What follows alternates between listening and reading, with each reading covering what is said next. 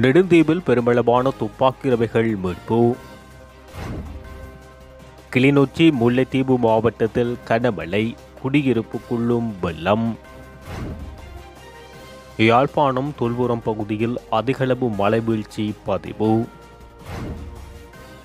பணத்தை கண்டுபிடிக்கவே ரணிலுக்கு அதிகாரத்தை வழங்கினோம் மகிந்த பகிரங்கம். தனியான துறைமுகமாக்கப்பட்டது மன்னார் துறைமுகம். விரைவில் இந்தியாவுக்கிடையில் கப்பல் சேவை. ஜனாதிபதி தேர்தலில் களமிறங்குவது தொடர்பில் இதுவரை தீர்மானிக்கவில்லை. ரணில் தெரிவிப்பு.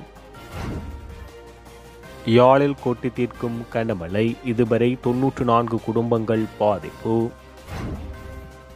அளம்பில் மாவீர துயிலும் இல்லத்தில் சிரமதான பணி. இராணுவத்திடமிருந்து காணியை விடுவிக்குமாறும் கோரிக்கை. கருப்பு பட்டியலில் சேர்க்கப்படவுள்ள நிறுவனங்கள் சுகாதார அமைச்சின் தீர்மானம். ஜாலில் இளைஞர்களை குறிவைத்து போதை விருந்து விடுதிகளை முற்றுகையிட்டு போராடுவோம் சுகாஸ் எச்சரிக்கை. பட்டுப்பாதை திட்டத்தின் அடுத்த கட்ட நகர்வு இலங்கை அரசியல்வாதிகளை குறிவைக்கும் சீன கட்சி. காணி பிரச்சினைக்கு தீர்வு காண ஜனாதிபதி நடவடிக்கை. பெரும் பரம் என்கிறார் ராஜாங்க அமைச்சர் காதர் மஸ்தான்.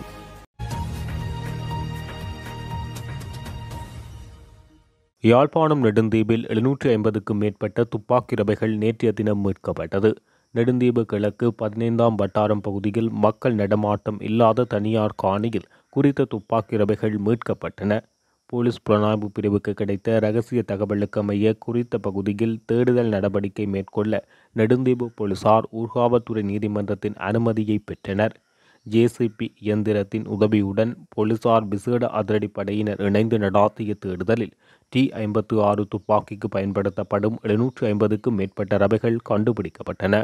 நிலவிய சீரற்ற காலநிலை காரணமாக தேடுதல் நடவடிக்கை தொடர்ந்து மேற்கொள்ள முடியாத நிலையில் முடிவுறுத்தப்பட்டதாக தெரிவிக்கப்பட்டுள்ளது.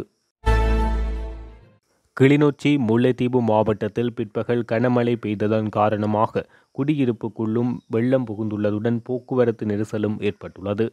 நேற்றைய தினம் பகல் இரண்டு மணியளவில் பெய்த மழையினால் குறித்த மாவட்டங்களில் பொன்னகர் செல்வபுரம் அறிவியல் நகர் பாரதிபுரம் உள்ளிட்ட பகுதிகளில் உள்ள மக்கள் பாதிக்கப்பட்டுள்ளதாக தெரிவிக்கப்பட்டுள்ளது.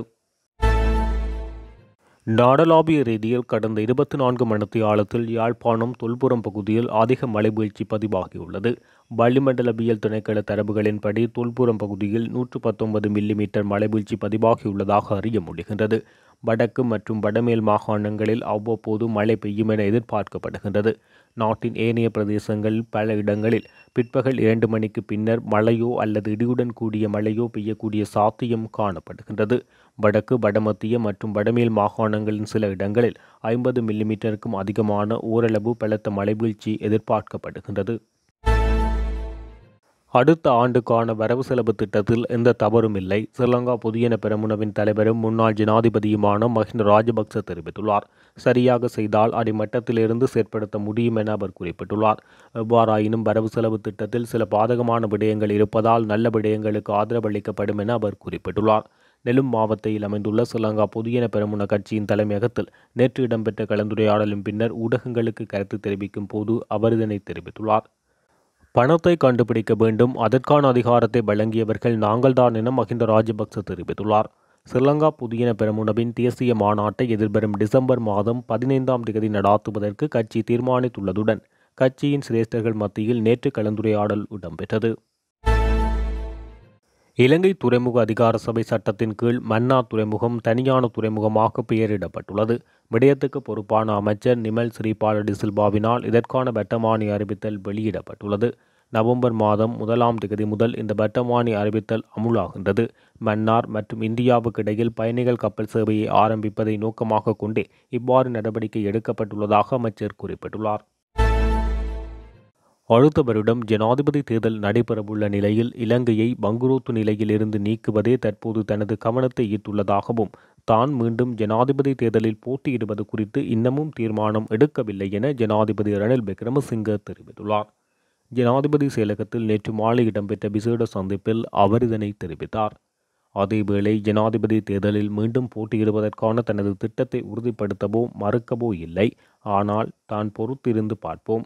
இலங்கையை பங்குரோத்து நிலையில் இருந்து நீக்குவதே எனது முதன்மையான கவனம். அதன் பிறகு நான் முடிவு செய்வேன் என ஜனாதிபதி ரணில் விக்ரமசிங்க தெரிவித்துள்ளார். தொடர்ச்சியாக பெய்து வரும் கனமழை காரணமாக யாழ்ப்பாணத்தில் இதுவரை தொன்னூற்று நான்கு குடும்பங்களைச் சேர்ந்த முன்னூற்று பதினேழு பேர் பாதிக்கப்பட்டுள்ளதாக யாழ்ப்பாணம் மாவட்ட அனர்த்த முகாமைத்துவ பிரிவின் பிரதிப்பணிப்பாளர் டி என் சூரியராஜா தெரிவித்துள்ளார்.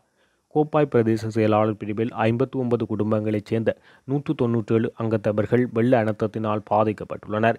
இதேவேளை பருத்தித்துறை பிரதேச செயலாளர் பிரிவுக்குட்பட்ட பொள்ளிகண்டி பகுதியில் முப்பத்தி ஐந்து குடும்பங்களைச் சேர்ந்த நூற்றி இருபது பேர் பாதிக்கப்பட்டுள்ளனர்.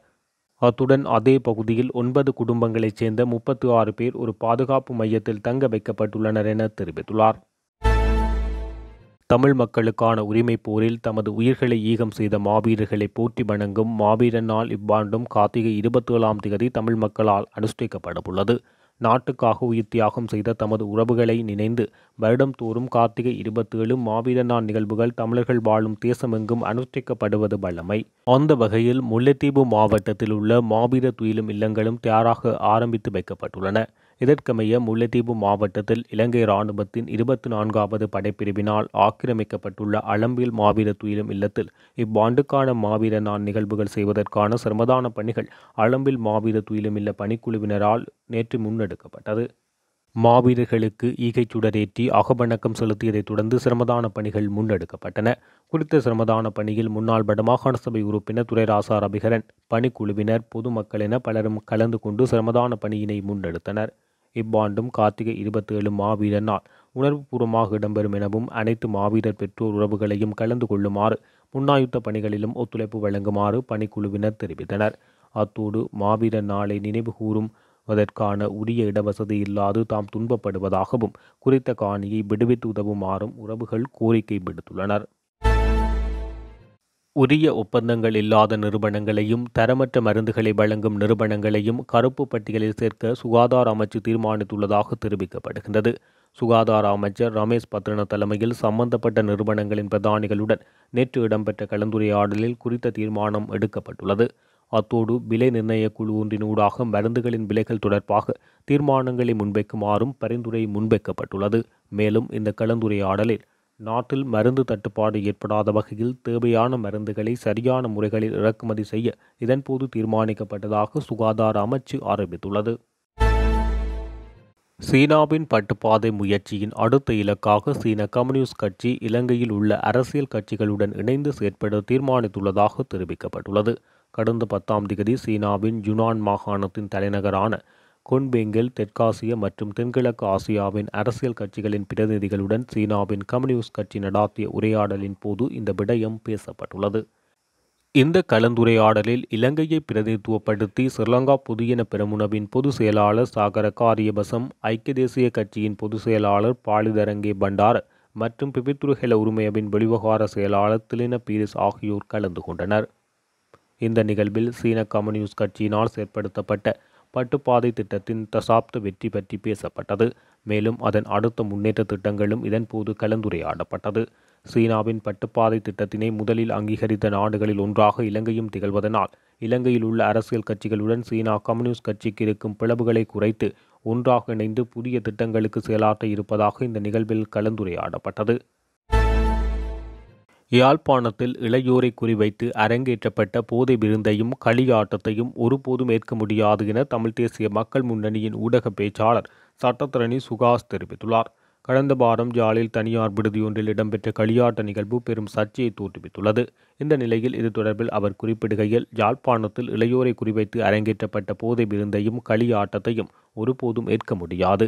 சம்பந்தப்பட்ட தனியார் விடுதியும் சமூக பொறுப்பற்று செயற்படும் ஏனைய ஒரு சில விடுதிகளும் தாம் சார்ந்த தமிழ் சமூகத்தின் பண்பாட்டு கூழங்களுக்கு அமைவாக செயற்பட வேண்டும்.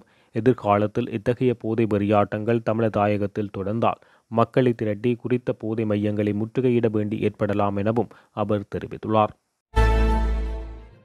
வரவு செலவு திட்டத்தின் மூலம் வடமாகாணத்துக்கு பாரியளவில் ஒதுக்கீடுகளை செய்துள்ளதுடன் பண்டி மாவட்ட மக்கள் எதிர்கொண்டு வரும் காணி பிரச்சினைக்கும் தீர்வு காண நடவடிக்கை எடுக்கப்பட்டுள்ளது என கிராமிய பொருளாதார ராஜாங்க அமைச்சர் காதர் மஸ்தான் தெரிவித்துள்ளார். கடத்தொழில் விருத்தி செய்வதற்காக ஐநூறு மில்லியன் ரூபாய் ஒதுக்கியிருப்பதன் மூலம் குறிப்பாக வடமாகாண கடத்தொழிலாளர்களுக்கு பல நன்மைகள் பெற்றுக்கொள்ள முடியுமாக உள்ளது. அத்துடன் பண்டி மாவட்ட மக்கள் நீண்ட காலமாக காணி பிரச்சினைகளை எதிர்கொண்டு வருகின்றனர். இந்த பிரச்சினைக்கு தீர்வு காணும் வகையில் இருபது லட்சம் குடும்பங்களுக்கு காணி வழங்குவதாக ஜனாதிபதி தெரிவித்துள்ளார். அதேபோன்று விவசாயிகளுக்கு காணி வழங்குவதற்கு இரண்டு பில்லியன் ரூபாய் ஒதுக்கப்பட்டுள்ளது. எமது பகுதியை பொறுத்தவரை காணி பிரச்சினை என்பது பாரிய பிரச்சினை. என்றாலும் ஜனாதிபதி இதனை உணர்ந்து அந்த பிரச்சினைக்கு தீர்வு காண நடவடிக்கை எடுத்திருப்பது எமக்கு கிடைத்திருக்கும் பெரும் வரமாக நான் காண்கின்றேன். மேலும் கிராமிய பாதைகளை புதுப்பிப்பதற்காக வரவு செலவு திட்டம் மூலம் பத்து பில்லியன் ஒதுக்கப்பட்டுள்ளது. அதனால் யுத்தத்தால் பாதிக்கப்பட்டு அபிவிருத்தி செய்யப்படாமல் இருக்கும் எமது பிரதேச கிராமிய பாதைகளை புதுப்பிக்க இந்த நிதியிலிருந்து ஒரு பில்லியனாவது வழங்க வேண்டும் என கேட்டுக்கொள்கின்றோம் என தெரிவித்துள்ளார்.